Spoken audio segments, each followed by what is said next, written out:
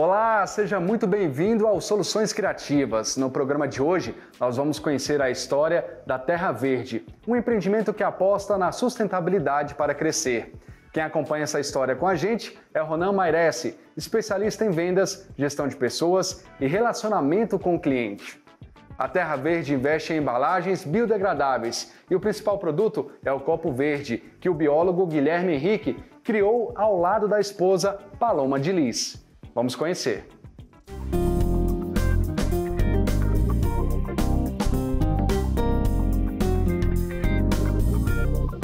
Meu nome é Guilherme, eu tenho 30 anos, é, sou biólogo de formação e atualmente sou empresário. Desde o começo eu sempre. É, foi a matéria no, no, colégio que sempre me atraiu bastante, né? É, eu tinha o sonho de ir para a área de genética e acabei trabalhando uma boa parte do, da minha formação aí desde a faculdade até os primeiros anos dentro da genética, mas é, a vida me levou para o caminho do desenvolvimento sustentável, né? Então eu fiz uma especialização, um MBA em desenvolvimento sustentável, fiz um mestrado em sustentabilidade e com isso a gente acabou chegando aí hoje no, no desenvolvimento de embalagens sustentáveis. Eu, eu, e minha esposa Paloma nós trabalhávamos é, em uma empresa de biotecnologia, né, aqui na região de Campinas, e nós fomos desligados no começo da pandemia. Nós saímos de lá, ela foi para uma outra área, para a área de nutrição. Eu fui para minha área mesmo, de meio ambiente, desenvolvimento sustentável. Trabalhei com gestão de resíduos, mas durou só três meses, né? E mesmo durante a pandemia, a gente enxergou essa possibilidade é, de startar um, um, negócio aí voltado para o desenvolvimento sustentável e nós recebemos um convite desse parceiro comercial nosso. Nós fomos até a fábrica deles, na, na época eles não estavam nem começando e saímos de lá com uma caixinha de copos. Né? E aí a gente encontrou esse mercado. Eu falei, pô, e se a gente conseguir começar a vender isso em pequena quantidade, né? Primeira pergunta que eu fiz, qual que é a quantidade mínima de vocês? Ah, o nosso faturamento mínimo é 2, 3 mil reais. Eu falei, cara, mas e se eu tiver um empreendimento que usa 100 copinhos por mês? Como que eu vou conseguir comprar isso? Aonde eu vou conseguir comprar isso, né? E aí entrou o Pedro, né? O Pedro, na época de faculdade, nós dividimos uma moradia e desde lá a gente tem algumas ideias. Nós chegamos a desenvolver uma época uma máquina que reciclava cápsula de café. Então a gente sempre teve essa ideia. Ele é engenheiro de formação e ele desenvolveu todo o processo de personalização. Então ele criou uma máquina, adaptou o processo e hoje a gente consegue não só vender o copo em branco, mas a gente consegue atender um mercado que até há pouco tempo atrás nós somos os únicos ainda no Brasil que conseguem fazer isso em um volume razoável de atender essas pequenas quantidades. Clínicas que usam 100 copos por mês. Então, um cliente, um parceiro desse não vai comprar 10 mil unidades, né? vai durar 2, 3 anos. Então, ele vem com a gente, compra 100, a gente compra do nosso parceiro, fecha a cadeia, fica todo mundo feliz. Hoje as nossas vendas elas são totalmente digitais, é, faz parte do, do, conceito de sustentabilidade que a gente aplicou, de atuar em espaços pequenos, é, uma pegada de carbono menor, sem muitos equipamentos, sem grandes maquinários. É, nossas vendas elas são totalmente, é, totalmente digitais, então nós atuamos hoje nos principais marketplaces do país e nós temos também um setor comercial que é responsável pelas vendas por Instagram, por Facebook, o pessoal que entra direto em contato conosco pelo nosso site, WhatsApp, às vezes um cliente que quer comprar um pouco a mais daquilo que a gente está habituado a vender, que é até 500 copos, mas ainda não caiu no volume da fábrica, que é a partir de 10 mil. Então, esse pessoal, nós temos um setor de atendimento, é, tu, todos os, os, nossos parceiros são captados digitalmente, né? e passando por aí, eles fazem todo esse processo. A nossa impressão, ela não é aquela impressão full print, né? nós temos algumas limitações devido a esse processo de, de, de pequenas quantidades, mas nós conseguimos fazer uma personalização colorida, algo bem vivo, uma coisa bem chamativa consegue valorizar bastante a marca. Feito o pedido, tanto no e-commerce quanto é, de maneira direta com nossos representantes, eles enviam a arte para nós, o que eles desejam estampar ali no copo deles. Nós fazemos o processo de impressão, preparo e personalização. Feito isso, é, alguns marketplaces coletam os pedidos por aqui diariamente, alguns outros nós levamos em alguns pontos de coleta, né? É, depende muito do volume do marketplace. E feito isso, o pedido é despachado, em média aí, no máximo 30 dias, a pessoa está recebendo os copinhos personalizados aí na residência ou no local de trabalho.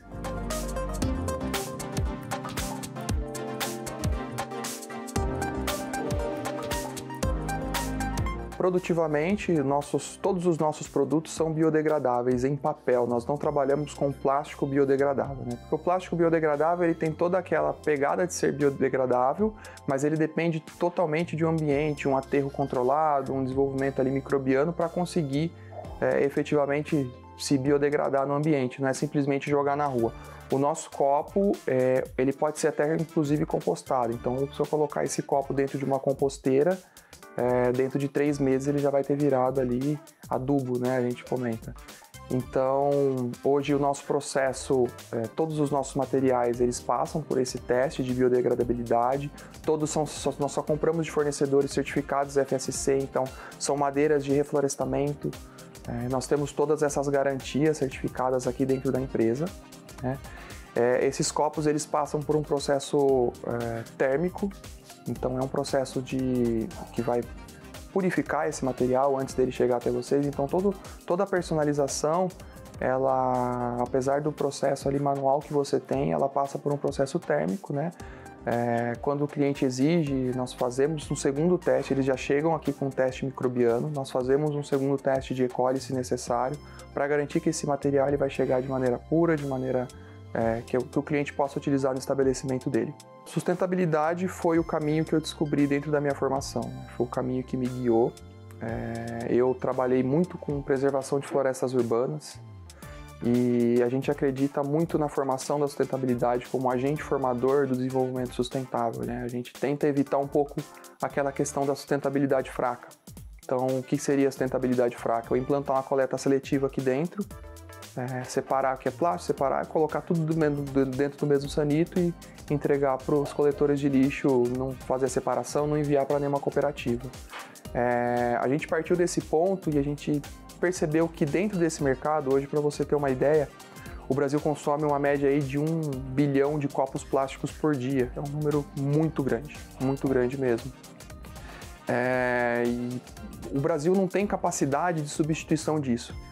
E as empresas que estão surgindo, elas estão aí se multiplicando nesse ramo de copo de papel, porque vem leis batendo em cima de é, fiscalizações. São Paulo, por exemplo, a capital, já tem uma lei que não que está em vigor, mas não está sendo fiscalizada, que proíbe todo e qualquer copo plástico, todo e qualquer recipiente plástico, assim como foi com os canudos.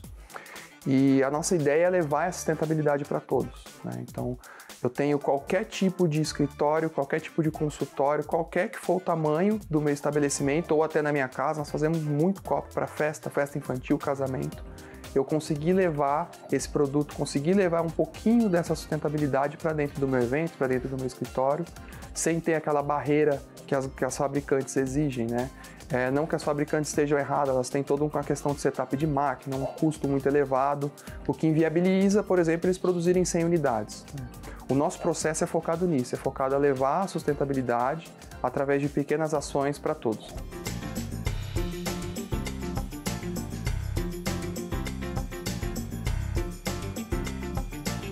O nosso serviço é, oferecido ele é pautado principalmente, ele começa com um bom atendimento. Né? Então hoje nós temos uma equipe de atendimento em cada marketplace, em cada canal de atendimento, seja WhatsApp, Instagram, para que a pessoa ela chegue até você, seja atendida de maneira rápida, seja atendida de maneira eficiente, eficaz, consiga ali tirar todas as dúvidas. Nós fazemos às vezes, é, dependendo da situação, alguns ajustes na arte da pessoa. Às vezes a pessoa tem uma arte, mas não é aquilo, quer mudar uma cor.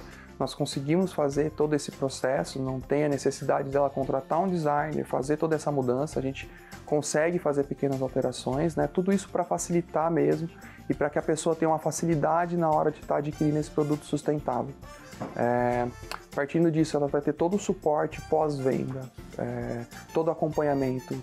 É, nós trabalhamos hoje com copos e potes, então pode ser é raro, mas pode ser que aconteça de um, um ou dois copos vazarem, a pessoa, a, o nosso parceiro, ele tem todo o nosso suporte, tem uma equipe técnica, tem uma equipe de qualidade que atende ela, vai sanar esse problema, vai levar esse problema ao fabricante vai entender o que aconteceu, se foi temperatura, se foi o uso incorreto, fazer a substituição. Então nós temos hoje aí é, um setor que a gente considera de excelência no pós-atendimento, né? um suporte pós-venda dentro aí de todo o processo, seja no marketplace ou seja na venda direta. A Copos Verdes ela faz parte da Terra Verde Biodegradáveis, né?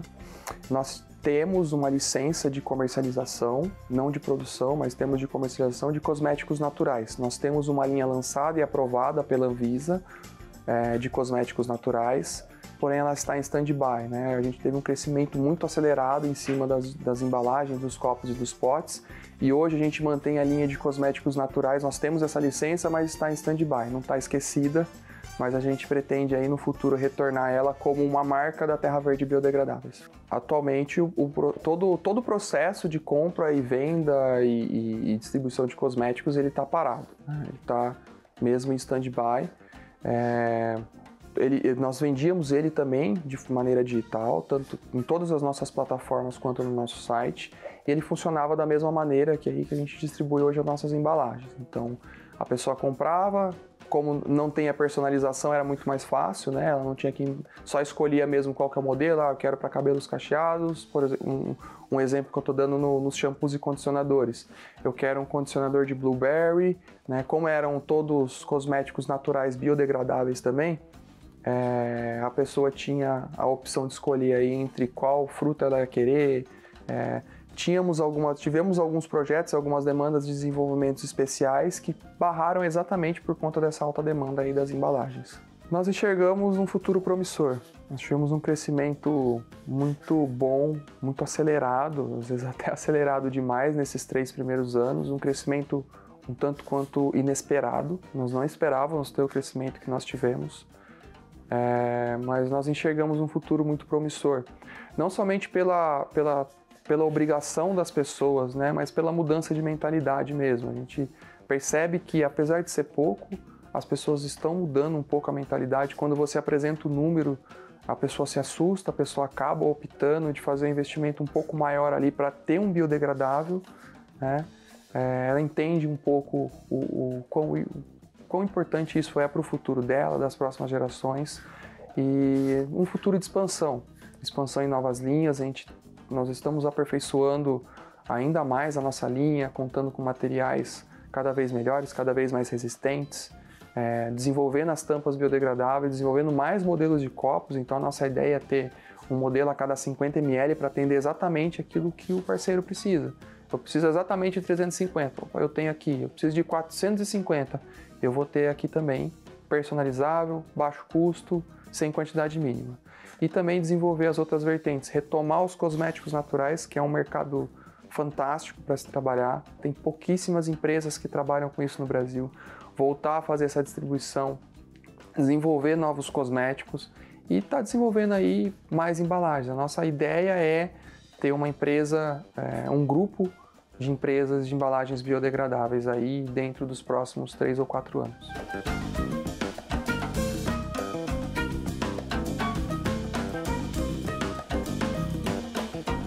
Essa foi a Terra Verde, um empreendimento que aposta em produtos sustentáveis para ganhar o mercado. No próximo bloco, nós vamos analisar o modelo de negócio com o especialista Ronan Mairesse, especialista em vendas, gestão de pessoas e relacionamento com o cliente. Não saia daí, a gente volta já.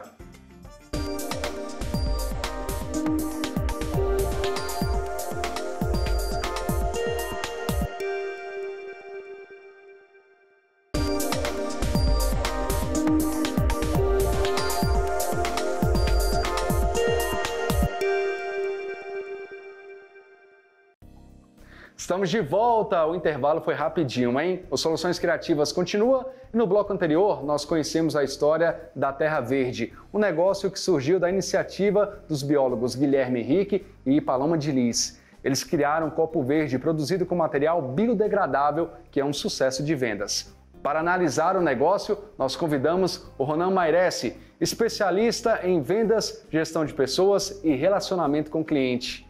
Oi, Ronan, tudo bem? Seja bem-vindo. Tudo bem, Márcio? É um prazer novamente estar colaborando aqui com o canal Empreender, que ajuda tantos empresários, microempresários no Brasil inteiro a, absorver esses conhecimentos, se inspirar e, e tomar atitudes e decisões que levem, então, o crescimento do Brasil. É, nossa missão é essa, é ajudar o empreendedor, empreendedor e também ajudar quem tem um sonho de ter um empreendimento, né? Afinal de contas, quem não sonha em ser o próprio chefe? Mas para isso dá um pouquinho de trabalho, né? Ronan, o Guilherme conta que a ideia inicial de implementação da Terra Verde surgiu quando ele e a esposa, Paloma, foram desligados dos empregos na né? SLT, eles eram contratados por uma empresa. É possível ser criativo em um momento como esse? É, assim, é um dos melhores momentos, Márcio, porque o processo criativo é toda uma questão mental, né? Então, é, quando a gente fala de alto desempenho, é fazer o que é preciso com o recurso disponível sem arrumar desculpa. Então, você perde o emprego, você não tem mais aquele salário todos os meses e você precisa agir para poder colocar então as contas em dia, a comida na mesa. Então nada melhor do que um momento de pressão, de tensão para a mente se expandir, ela abrir e você buscar então oportunidades, né? Porque você amplia o foco.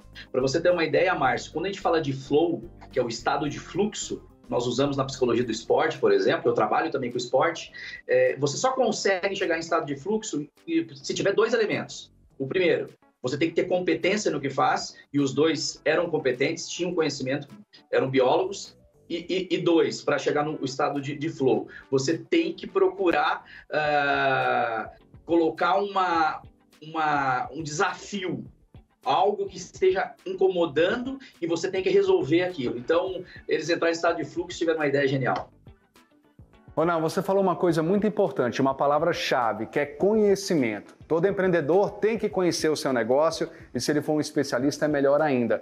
Nesse caso, você concorda que isso ajudou para que eles fossem um sucesso na empresa deles? Afinal de contas, além de conhecer a área, eles também buscaram conhecimento nessa área de sustentabilidade. Até o Guilherme, que a gente viu na matéria, ele é especialista em sustentabilidade. Ótimo. Eu, eu, no mundo corporativo, nós estamos falando muito sobre hard skills e soft skills. Né? Então, não adianta você ter um hard skill, que é o conhecimento, um doutorado, se você não tiver os soft skills, que é atitude, determinação, força de vontade e disciplina. Então você pega o caso dele, juntou os dois. E quando esses dois se juntam, o profissional fica praticamente imbatível. Então o conhecimento que ele tem foi essencial para ele enxergar oportunidades. Se ele não tem esse conhecimento da, do mundo, da, da, da, sustentabilidade, de como ele pode ajudar o planeta a ser mais sustentável, jamais ele teria essa ideia. Né? A ideia não, não, ela não iria acontecer do nada na cabeça dele. Então, o conhecimento ele é essencial. E eu falo muito para os empresários que eu trabalho, nas palestras que eu tenho feito para o Sebrae: busca conhecimento, busca entender como é que funciona a inovação, como é que está esse mundo do business, dos negócios, inteligência artificial. Talvez você não vá colocar em prática agora a inteligência artificial, mas você tem que estar tá lá no meio de quem está falando sobre isso. Porque cada negócio, Márcio, tem uma peculiaridade, tem uma maneira de se pensar. Não existe uma fórmula pronta, mas existe uma metodologia que você pode aplicar para ser criativo e para inovar na sua empresa. É, tem que ficar sempre antenado, né? A tecnologia está se desenvolvendo a cada tempo, né? Está aumentando, então acho que a grande essência disso tudo é realmente estar conectado, é estar ali no entendimento do que está acontecendo e sempre se atualizar, né, Ronan? Essa é uma coisa muito importante. E outra coisa que eu queria saber de você é com relação ao mercado. Esse conhecimento passa por isso. Então, como é que o empreendedor pode identificar um mercado ideal para ele? Quando a gente fala em solução criativa, a gente está falando de um problema que existe. Mas nem sempre aquele problema que você vai resolver ele vai se tornar um grande negócio. Talvez vai resolver temporariamente. Não é o caso do Guilherme da Paloma. Mas em todo caso, como é que fica essa questão de entender como é que funciona o mercado? Como é que ele pode atuar para que ele possa se desenvolver e ter uma empresa consolidada e, é claro, uma empresa aí que dure muitos anos aí, que permaneça aí. Que prospere, né? Uh, então, uh, primeiro, você, você tem que ter um posicionamento. Vamos pegar o caso dos dois. Eles eram, eles são da área da, uh, da sustentabilidade, eles tinham esse conhecimento, viram uma oportunidade e colocaram em prática. Esse processo criativo, ele funciona uh, quando você consegue observar as coisas que estão acontecendo e começa a pensar em ideias sem julgamento nenhum. Esse é um ponto importante, Márcio. Porque quando a gente está criando uma ideia, como é que funciona o nosso processo mental de criação? Você está ali escrevendo um texto. Vamos imaginar, você está escrevendo um texto. E se você começar a, a querer corrigir o português nesse texto, você quebra o seu processo mental de criação O texto, depois você, você arruma um português, pede para um, um professor de português corrigir, um, um, assessor de imprensa corrigir, mas o processo mental de criação ele tem que ser focado. E, e aí vem um ponto interessante, por isso que eu falo do posicionamento. Né? Esse mundo que a gente vive hoje, ele nos convida a cada segunda distração. Eu estou aqui agora dentro do hotel, estou quietinho, eu tive que avisar o pessoal da recepção que eu ia dar uma entrevista, desliguei o meu celular para que ninguém me ligue, para que pudesse focar no que eu tenho que conversar com vocês hoje. E o processo mental de criação, ele é exatamente igual. No momento que esses dois, eles saem da empresa, eu tenho certeza que eles pararam, relaxaram e começaram a ter essas ideias. Então, você que está me ouvindo, que é empreendedor, não vai ser na correria do dia a dia que você vai revolucionar a sua empresa. Você tem que parar tem que parar, tem que ouvir outras pessoas, tem que ver o que as outras empresas estão fazendo e começar, uh, como a gente brinca com os mais jovens, viajar. Né? É um processo de, de, de pensar sem nenhum tipo de julgamento. Eu, eu pego o exemplo, Márcio, do Bill George. Né? O Bill George foi CEO da Medtronic. Ah, quando ele assume a Medtronic, ela estava na época com capital de mercado de um bilhão de dólares. Ele sai depois de 10 anos, a empresa com capital de mercado de 80 bilhões de dólares, né? E naquele, naquele período que ele ficou, a primeira atitude que ele teve foi reunir os vice-presidentes, os diretores mais importantes, e ele saiu com essa galera para pescar. Aí, veja bem, se você fala isso para um empresário hoje, eh, de repente vai dizer, você é louco, ele assumiu uma empresa estava quebrando e foi pescar. Sim, porque no momento que tu relaxa, no momento que tu conversa, você começa a ter as ideias, as coisas vão surgindo com mais facilidade. Então você tem que sair desse processo de, de tensão, de agitação, se você quer enxergar uma possibilidade legal de negócio. Ronan, sabe que você deu uma dica agora que eu achei muito importante, que foi o processo de criação. Porque tem gente que acha que criação é um dom, que se a pessoa não nasceu com isso, ela não vai conseguir. E você deu aí um, uma, um processo que a pessoa pode fazer para ter essa criação, que é focar no que está fazendo, esquecer os detalhes naquele momento. E também esse último detalhe que você colocou, né? Que é botar a cabeça no lugar, respirar, entender o que está acontecendo, para depois tomar atitude, até mesmo se for o caso de abrir um negócio. E quando tudo isso vai se desenvolvendo, o negócio se torna grande. Nesse caso, Ronan, quando é que a pessoa, quando é que o empreendedor pode entender que o negócio dele pode ser um negócio nacional e por que não dizer também internacional? Bom, essa é uma resposta que vale um milhão de dólares, né? Que o pessoal está buscando. Uh, primeiro, o, te, o teu negócio ele tem que resolver problema. Se ele não resolve um problema, ele não encontra, ele não tem uma solução, não, não é responsável por encontrar uma solução, não dá prazer ou não dá sucesso para o cliente se sentir, porque o processo psicológico de compra do cliente vem nesses quatro pilares, é, ele não vai chegar muito longe. Tá? Agora, quando ele consegue resolver problema, é, despertar sucesso, encontrar solução, e ele é um visionário que não tem medo de empreender, de escalar esse negócio, ele tem que buscar então ajuda, principalmente ajuda, e isso é um ponto importante, Márcio, porque uh, o ego não permite. Por isso que dentro da liderança, né, o, o principal elemento que a gente olha nos líderes, isso é, é quem traz é Jim Collins, em Empresas Feitas para Vencer, é a humildade. Você tem que ser humilde em saber ouvir, uh, saber buscar a, a opinião contrária, entender que não existem mais certezas, isso é um ponto chave, tá? Uh, as crenças, né? O software mental que, que nós temos instalado desde pequenininho é, faz com que a gente tenha umas certezas enraizadas que fazem com que a gente não enxergue as possibilidades, né? Por exemplo, eu vejo empresários no dia a dia, nas, nas minhas palestras que eu tenho feito, com ideias maravilhosas mas está ele trabalhando, a esposa, um filho, máximo um, dois funcionários, e ele não quer crescer essa empresa porque ele fala que ter funcionário é uma coisa ruim. Tá, tá a crença enraizada. Se ele quebra essa crença, ele vai conseguir crescer. Então, para poder é, pegar um negócio que hoje está tendo sucesso a nível regional ou em nível de bairro e transformar ele num, num, num negócio talvez como você falou, a nível, a, a nível uh, nacional, a primeira coisa que tem que mudar é a cabeça, é a mente. Né? Vai fazer terapia, vai buscar um coaching, vai buscar uma consultoria, busca ajuda do Sebrae, busca ajuda das pessoas que estão mais próximas de você, que entendam de negócio. Né? Esse é um ponto interessante. Sabe, Márcio, eu, eu brinco muito com a galera da, das faculdades, que eu dou muita palestra em faculdade, né? Eu digo sempre para as meninas, meninas, você tá com problema com o namorado, não vai pedir ajuda para a vizinha do lado, que foi divorciada cinco vezes, tá? Pede ajuda para alguém que está casado há muito tempo, que sabe aonde é que o calo dói, né?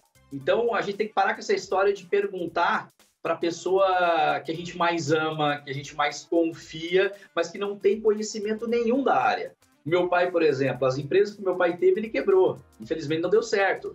Agora, quando eu quero perguntar sobre criação de filho, eu vou perguntar para o meu pai, porque ele foi um grande pai. Ronan, muito obrigado pela sua participação aqui no nosso programa, viu? E seja sempre bem-vindo. A gente está aqui com as portas abertas para você sempre. Prazer é todo meu. Soluções Criativas fica por aqui. Você que acompanhou a gente, obrigado pela sua audiência. Se você perdeu algum ponto do nosso programa, ou então você quer assistir novamente, é só buscar a gente lá no YouTube, Canal Empreender. Combinado? Então continue ligadinho com a gente. Canal Empreender, assistir já é um bom negócio. A gente se encontra. Tchau!